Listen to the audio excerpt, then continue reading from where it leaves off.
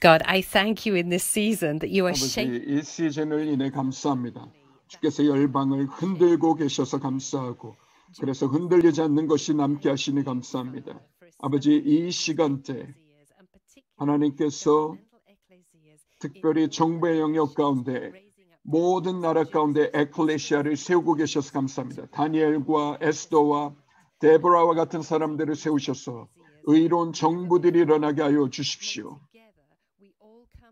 아버지 우리가 함께 모든 결박으로부터 나와서 주님께 재정렬되게 하시고 이스라엘과 정렬되게 하여 주십시오.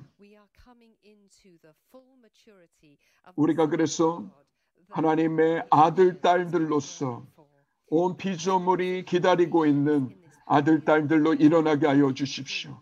우리가 거룩한 제 정렬 가운데 서게 하여 주십시오. 예수님 말이 나타내게 하여 주십시오.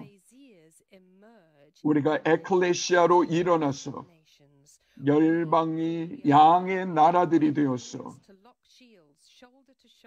어깨와 어깨를 맞대고 이 마지막 때에 경제적으로 정부적으로 우리가 어떻게 전략적으로 함께 설 수 있는지를 가르쳐 주십시오.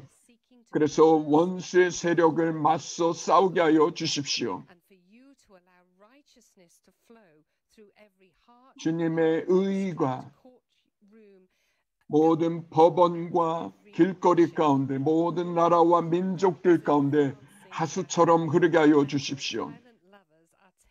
아버지 우리가 주님을 정말 더 급진적으로 사랑하게 하시고 열방을 제자하는 것이 무엇인지를 더 깊이 깨닫게 하여 주십시오.